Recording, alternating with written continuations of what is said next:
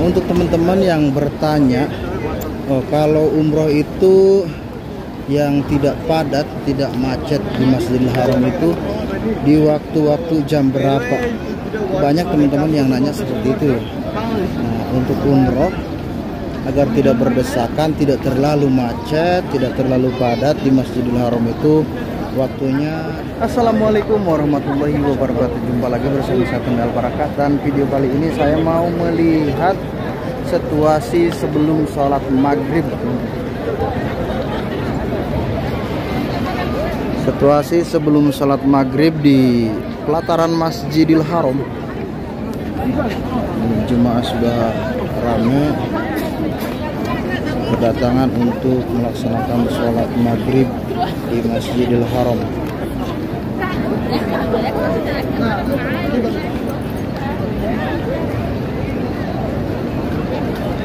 Para jemaah yang mau sholat masuk ke lantai dua sana lewat pintu aja dan pintu eskalator 91 Kalau perempuan banyak juga yang masuk lewat pintu nomor tiga, seperti mau umroh ya. Banyak juga yang masuk lewat sana kalau perempuan karena perempuan itu tidak terbatas ya. Tapi kalau laki-laki harus ke lantai dua atau Malik Fahad di sana. Kalau mau sholat.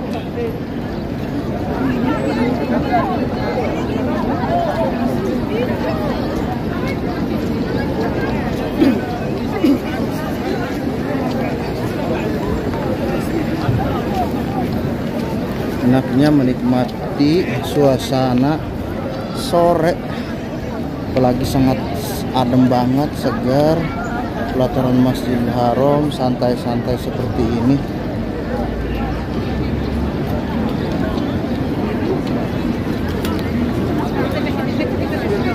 pernah ke sini silahkan teman-teman komen seperti apa perjalanan umrah teman-teman teman-teman pernah merasakan Eh, duduk-duduk uh, santai pelataran Masjidil Haram menikmati suasana uh, sambil nunggu uh, sholat di Masjidil Haram.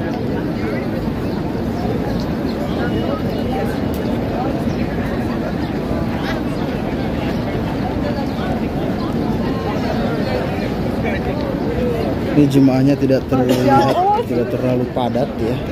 Masih kosong-kosong karena habis hujan. Masih banyak yang becek-becek di pelatarannya. Dan biasanya di pagar-pagar juga sekarang tidak ada karena kondisi habis hujan pagarnya dikepinggirin masih basah juga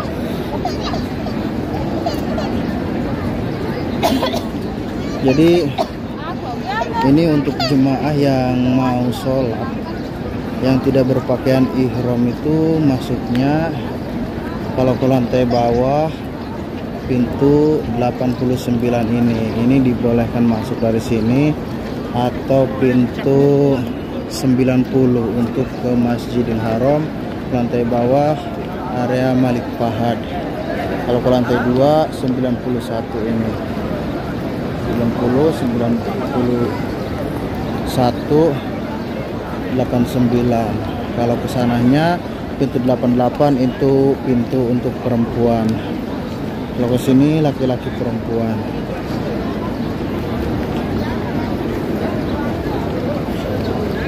Kalau di sini ada juga namanya pintu ladies pintu 88 ini di sini pintu 88 ini meskipun kadang laki-laki juga masuk tapi ada namanya pintu ladies atau bab nisa pintu 88 87 sampai ke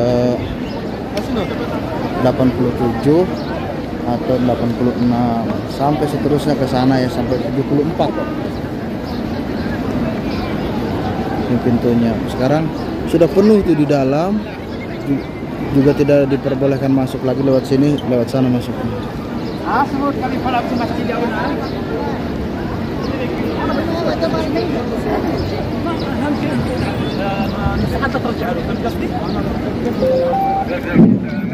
Sebentar lagi azan ya. Berapa menit lagi? Ini azan mungkin 15 menit lagi sampai azan maghrib dan jemaah yang sudah menikmati pelataran Masjidil Haram duduk santai seperti ini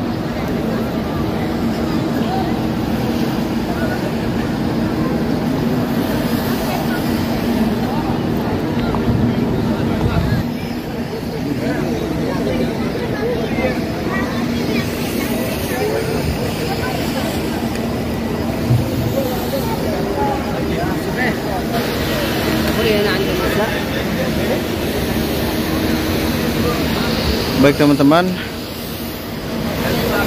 Saya tidak lupa untuk selalu mendoakan teman-teman Semoga teman-teman bisa secepatnya datang ke dua tanah suci Mekah dan Madinah untuk melaksanakan ibadah haji dan umroh Semoga Allah permudah dan semoga Allah percepat Amin ya robbal alamin आजाद रही चलते हैं कोशिश करें अंदर बाद में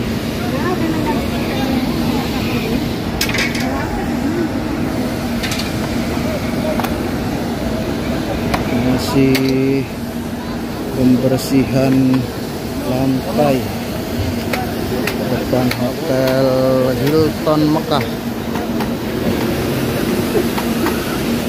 Atau Villa Hilton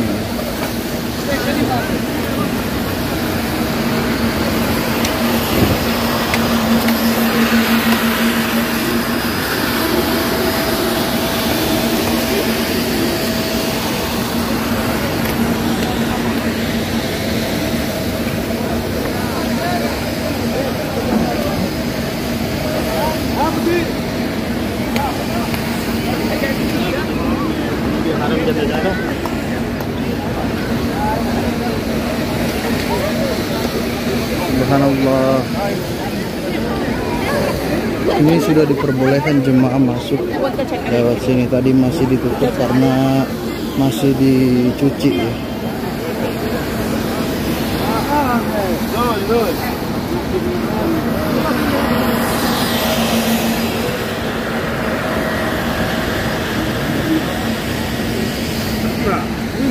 ya Baik teman-teman.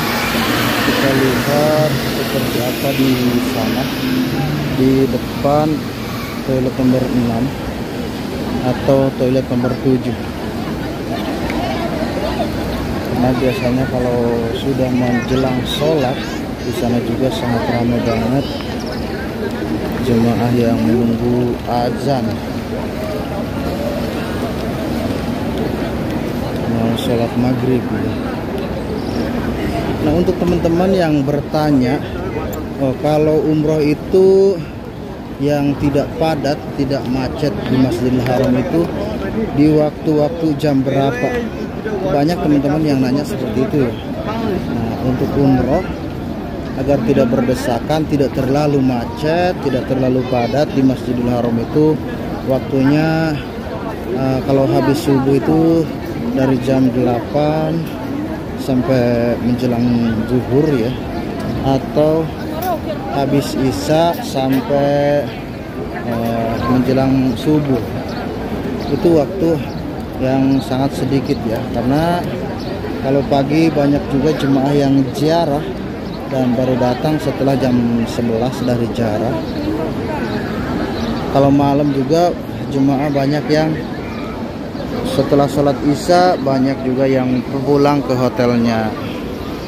Oh, ini kondisi di ini kondisi di belakang toilet 6 atau toilet 7 habis hujan tadi jadi airnya masih ada ya. Ini kondisi jemaah di sini. Jemaah backpacker ya kebanyakan di sini jemaah backpacker ini eh, kebanyakan dari Pakistan atau dari luar ya. Di sedikit kalau dari tanah air ya, dan tidak ada di sini tidak kelihatan. Kelihatannya di sini yang banyak dari Pakistan atau India ya. Jemaah backpacker atau juga dari Sudan, eh, Nigeria. Dan ketika di sini hujan basah, tempat ini tidak bisa dinikmati sama jemaah eh, backpacker karena basah ya. Setelah dibersihkan baru para jemaah bisa duduk-duduk santai lagi seperti ini. Dan ini masih ada genangan air di sini. Dan ternyata di sini banjir airnya. Nggak tahu dari mana ini air hujan tadi. Mungkin belum dibersihkan ya, masih banyak. Lokasi tempat jemaah backpacker lihat santah atau tas. Yang kena air hujan. Air hujannya masih dibersihkan sama petugas. Masih dibersihkan sama petugas di sini ada lubang airnya padahal sangat besar banget. Cuman airnya nggak masuk ke sini. Malah jadi genangan air di sini. Tuh. kocorannya besar-besar banget. Makanya kalau di Masjidil Haram hujan deras itu airnya cepat hilang teman-teman. Karena kocoran airnya sangat besar. Air dari atas nih nah ini seperti ini teman-teman. Pembuangan airnya tuh seperti ini ya besarnya. Dari sini panjang sampai ke ujung sana. Sampai ke jalan lagi nyambung ke sana ini spal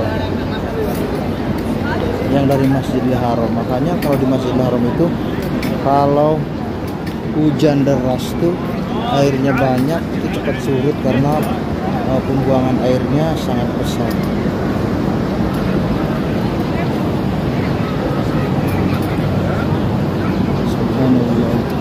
Oke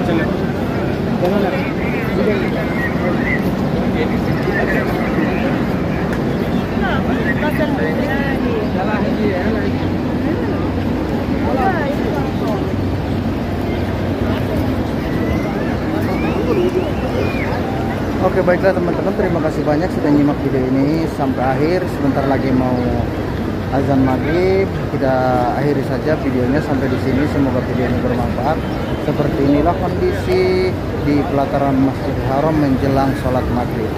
Sampai jumpa di video berikutnya. Assalamualaikum warahmatullahi wabarakatuh